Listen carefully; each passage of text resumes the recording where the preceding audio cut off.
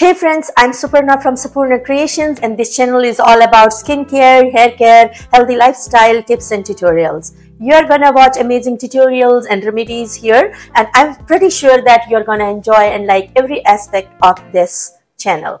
If you're new to this channel, make sure you hit that bell icon and subscribe button so that you become a part of this family and for my future videos. So let's get started.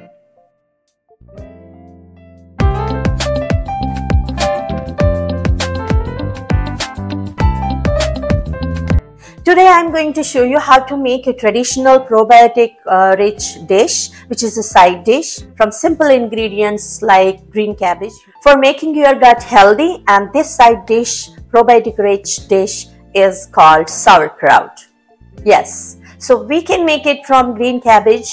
I have taken a green cabbage which is a Chinese green cabbage but you can use a regular green cabbage or red cabbage as well for making this uh, sauerkraut. This side dish is basically a fermented cabbage which makes your gut healthy and has other benefits. I will tell you the reasons why should we eat more sauerkraut in our diet. Uh, so actually this cabbage turns prebiotic fiber into probiotic microbes. Those microbes which are friendly and are called friendly bacteria in our gut which is called a biome. So the flora of our stomach is maintained by these friendly bacteria.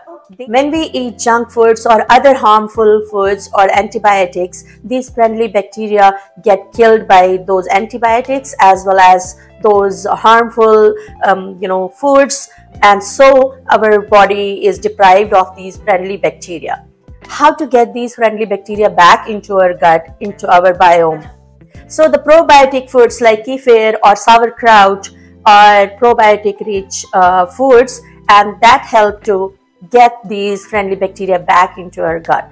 But let's stop doing jiba jiba and get to the point. So the benefits of sauerkraut are it increases lactic acid, it reduces gas production in our body, it, it improves bowel movements and it supports immune system, it spikes vitamin C and K2. First of all, I have taken a Chinese cabbage, which is a green cabbage, a regular green cabbage, which is an organic green cabbage. And I washed it thoroughly uh, with the clean water. And then as you see in the video, so after chopping it into slices, I leave it aside for a few minutes.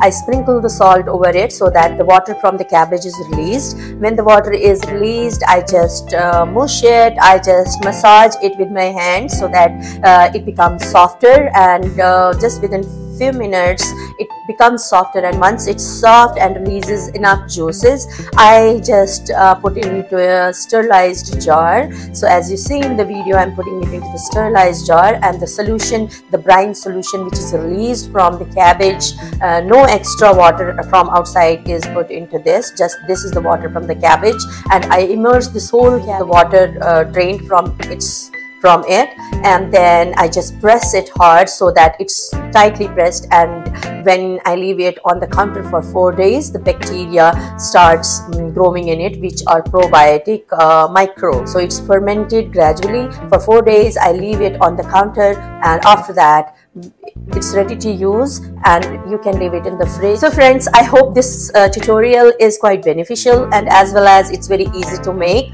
And i thought of sharing this uh, knowledge and this benefit to with you all with my friends with my audience. Friends. If you found this tutorial beneficial please do like share subscribe my channel. I will see you in another tutorial. Until then goodbye